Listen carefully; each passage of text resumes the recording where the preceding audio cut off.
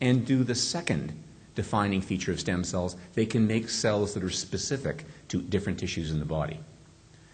So, stem cells are defined by two criteria the ability to self renew themselves, make copies of themselves throughout your lifetime, and second, by their ability to produce differentiated cells like beta cells, insulin producing beta cells of the pancreas, that can actually function in different types of organs. Now, there are two types, two general types of stem cells. The first type uh, is the type that Gordon's going to talk about, and these are embryonic stem cells.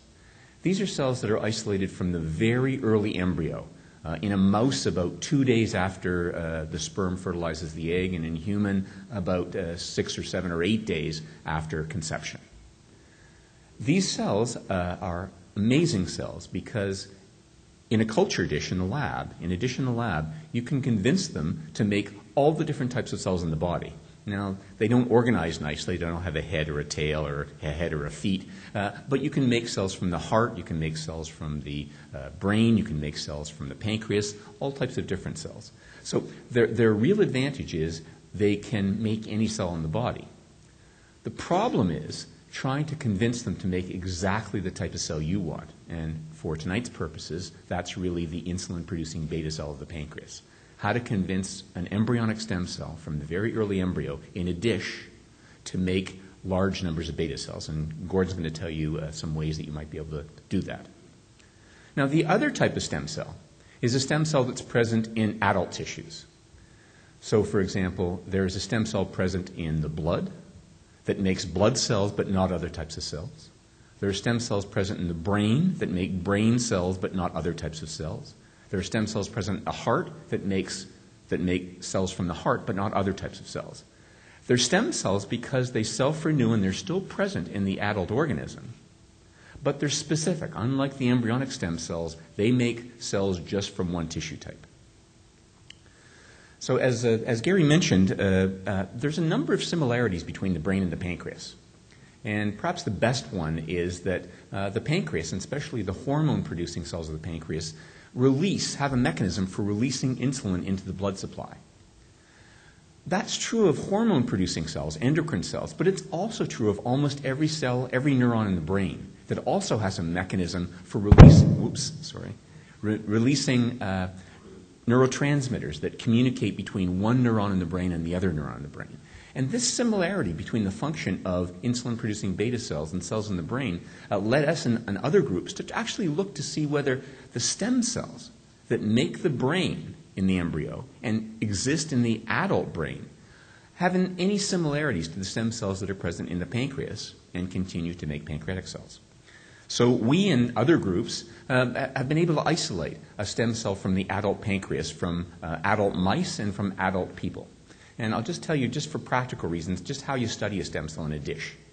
So what we'll do is take an um, adult pancreas donated from a, a, a post-mortem human, so somebody who dies and donates their pancreas. Now, of course, most of these pancreas uh, go for transplants. And in fact, we get our pancreas from uh, uh, pancreas that are donated by people who die, but are not good enough to actually put back into people in a transplant.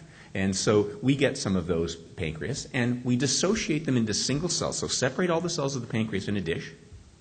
And under conditions where we have complete control of what's happening in the dish, a very rare cell in the adult human pancreas, about maybe 1 in 10,000 cells, it's a rare cell, has the ability in a dish to start to divide single cells will start to divide to produce large colonies of five or 10,000 cells in a week or two. So these are, this is a rare, unusual cell that has the ability to go from one cell to expand and self renew and make 10,000 cells in two weeks. So, this is the first property of a stem cell a cell that makes copies of itself and makes large numbers of those copies of itself. But the other criteria of a stem cell I mentioned before is that that single cell that can make lots of other cells, besides making copies of itself, also makes the different cell types in the pancreas. And so, what we and others have found is that adult pancreatic stem cell in a dish can make not only copies of itself, the stem cell, but also all of the differentiated cells in the pancreas the cells that produce insulin, the cells that produce the other hormones, somatostatin and glucagon, as well as cells of the exocrine pancreas, the part of the pancreas that produces digestive enzymes. So this is a neat cell.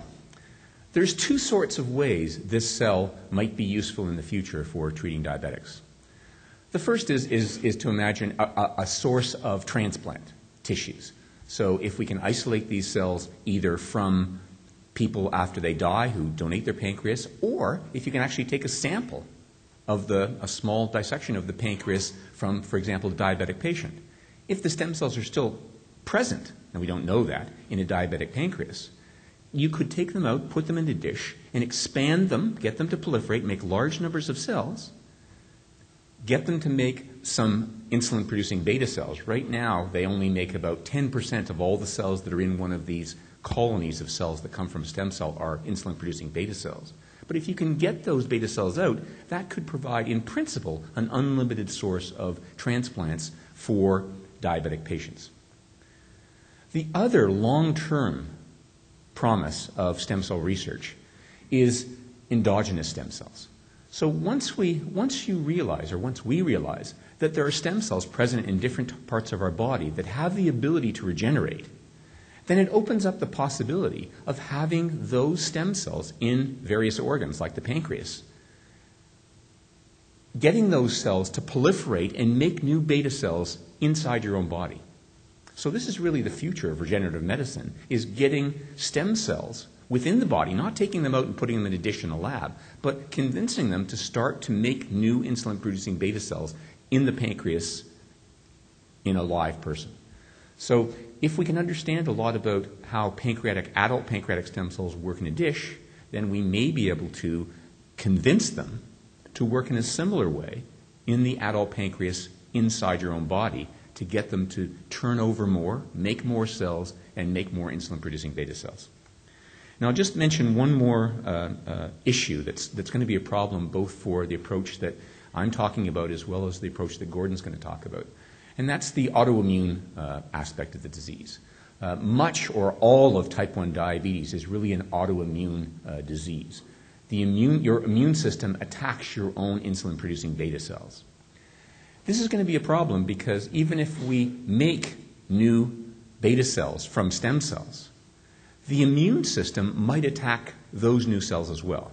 And so there's a, a deep problem of immunology, of how to prevent the immune system from attacking your own beta cells. Even if we can convince the pancreas to make new beta cells or transplant them from a lab culture dish into the patient, how do we convince the uh, immune system not to attack these beta cells? And this is a problem that, uh, that's currently ongoing in a lot of different labs.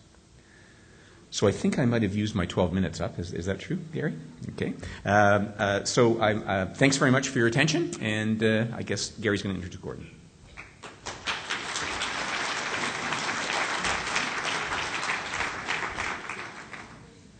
Thanks very much, Derek. Um, if you want to, you can take a seat down there, and I'll call you back up here at the end. Uh, we'll take questions uh, afterwards. Uh, it's very interesting because uh, some of you may not be aware of this, but you know the onset of type 1 diabetes is, is often very sudden with someone needing to go into hospital. But that process has been going on in the pancreas for uh, many, many months uh, before it becomes evident. And during that time, there is an ongoing battle going on in the pancreas between cells regenerating and dying. So these uh, are tremendously hopeful techniques that could actually influence uh, the early stages of, of, diabetes and prevent it. Our next speaker is uh, Dr. Gordon Keller. Uh, Dr. Keller earned his uh, PhD, uh, PhD, degree in immunology at the University of Alberta in 1979. He did his postdoctoral studies um, right here across the street at the Ontario Cancer Institute in 1983 and then his CV reads a little bit like the travel section in the New York Times. Um, he actually has taken up various science, uh, I didn't realize this till I, till I saw this, but various scientist positions um, in Switzerland, uh, Vienna, Austria, in uh, Denver, in the United States, in Colorado, and uh, more recently at Mount Sinai Hospital in New York City. Um, in January 2007, uh, Dr. Keller returned to Toronto to the, accept the position of director of the McEwen Centre for Regenerative Medicine at the University Health Network. Um,